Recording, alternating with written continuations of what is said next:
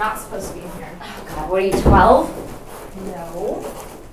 I just have some respect for mom. It's her birthday. You know she doesn't want anybody in here. Oh, stop it, Olivia. You hear her every year come in here and freak out because she's getting a year older.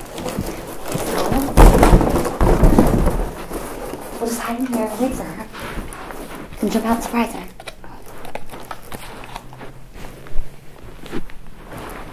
She's gonna love it. Come on.